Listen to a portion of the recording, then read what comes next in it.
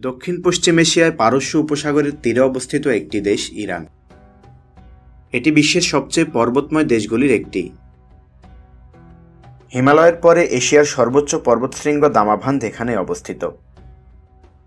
দেশটির জনগণ জাতিগত ও ভাষাগতভাবে বিচিত্র হলেও এরা প্রায় সবাই ইসলাম ধর্মাবলম্বী। শতাব্দীর পর শতাব্দী ধরে এই অঞ্চলটি ইসলামের শিয়া মতাবলম্বীদের কেন্দ্র হিসেবে পরিচিত।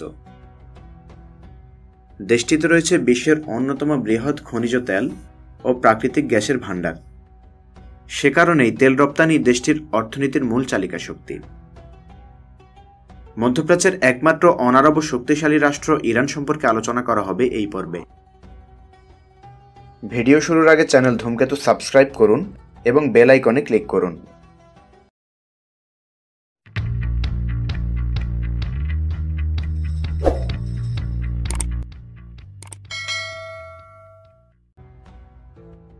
খ্রিস্টপূর্ব ষষ্ঠ শতাব্দীতে বর্তমান ইরান ছিল বিশ্বের শ্রেষ্ঠ সাম্রাজ্য পারস্যের কেন্দ্র। প্রায় দুই হাজার বছর ধরে এই অঞ্চলের অধিবাসীরা নিজেদের দেশকে ইরান বলে ডাকত।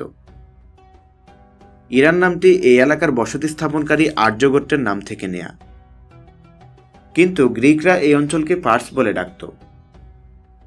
উনিশশো পঁয়ত্রিশ সালে ইরানের শাসক দেশটিকে কেবল ইরান বলে ডাকার অনুরোধ জানানোর পর থেকে এখন পর্যন্ত এ নামেই সারা বিশ্বের কাছে দেশটি পরিচিত। পনেরোশো এক সাল থেকে উনিশশো সাল পর্যন্ত রাজতন্ত্রী এই দেশটি শাহ অথবা রাজাদের শাসনাধীনে ছিল। উনিশশো উনআশি সালে ইরানি বিপ্লব গণ অভ্যুত্থানের মাধ্যমে রাজতন্ত্রের পতন ঘটে এবং একটি ইসলামী প্রজাতন্ত্র প্রতিষ্ঠিত হয়। ইতিহাস থেকে জানা যায়, ছয়শো ছত্রিশ খ্রিস্টাব্দে আরবরা সর্বপ্রথম শাসানীয় সাম্রাজ্য আক্রমণ করে।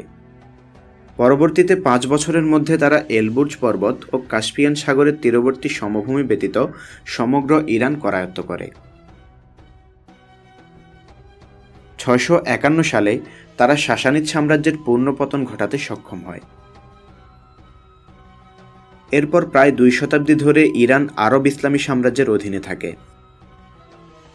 এ সময় মূল ইরানের বাইরে বর্তমান পশ্চিম আফগানিস্তানের হেরাতও এই সাম্রাজ্যের বিস্তার ঘটেছিল। ইসলামের খলিপারা প্রথমে মদিনা ও পরবর্তীকালে সিরিয়া, দামেস্ক ও শেষ পর্যন্ত ইরাকের বাগদাদ থেকে ইরান শাসন করতেন। নবম শতাব্দীর শেষে এসে পূর্ব ইরানে স্বাধীন রাজ্যের আবির্ভাব ঘটে এবং একাদশ শতকের মাঝামাঝি সময়ে বাগদাদের আরব খলিফা ইরানের উপর নিয়ন্ত্রণ হারিয়ে ফেলেন।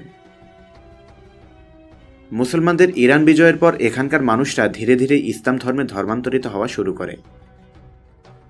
এবং দশম শতকের মধ্যেই ইরানের অধিকাংশ জনগণ মুসলিমে রূপান্তরিত হয়।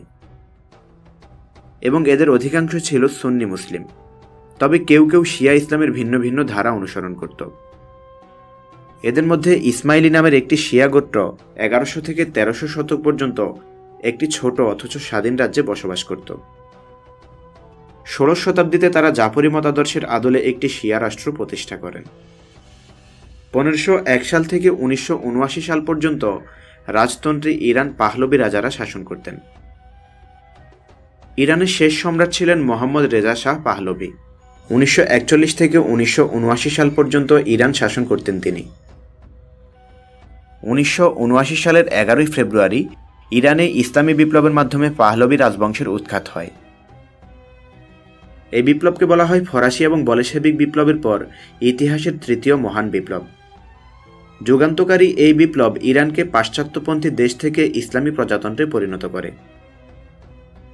বর্তমানে কঠোর ইসলামী নিয়মনীতি মেনে চলছে দেশটি। উনিশশো আশি সালে ইরানের উপর নিষেধাজ্ঞা আরোপ করে মার্কিন যুক্তরাষ্ট্র। তখন থেকেই নানা প্রতিবন্ধকতার মধ্য দিয়ে সামরিক শক্তি অর্জন করতে সক্ষম হয় দেশটি। বর্তমানে দেশটির সামরিক শক্তি এবং অস্ত্রভাণ্ডার এতই বেশি যে আমেরিকার মতো দেশকে চ্যালেঞ্জ করার সামর্থ্য রয়েছে তাদের। বিশ্বের সামরিক শক্তিধর দেশগুলোর একটি ইরান। বর্তমানে প্রায় পাঁচ লাখ তেইশ হাজার সক্রিয় সেনা সদস্য রয়েছে দেশটিতে। সংরক্ষিত সদস্য রয়েছে তিন লাখ পঞ্চাশ হাজার জন। এছাড়াও কমপক্ষে দেড় লাখ ইসলামিক রেভিউলেশনারি গার্ড বা আইআরসিজি সেনা মজুদ রয়েছে ইরানে। ইরানের সেনাবাহিনীতে ট্যাঙ্ক সংখ্যা এক হাজার ছয়শো চৌত্রিশ শাহজাহানের সংখ্যা দুই হাজার তিনশো পঁয়তাল্লিশ। সেনা সদস্যদের ব্যবহারের জন্য কামান রয়েছে দুই হাজার একশো সাতাশটি এবং এক হাজার নয়শোটি রকেট চালিত কামান রয়েছে। এছাড়াও দেশটির সামরিক প্রশিক্ষিত জনসংখ্যা দুই কোটি ছত্রিশ লাখ উনিশ হাজার দুইশো পনেরো জন। অনেক প্রতিবন্ধকতা সত্ত্বেও এগিয়ে চলা এক দেশের নাম ইরান।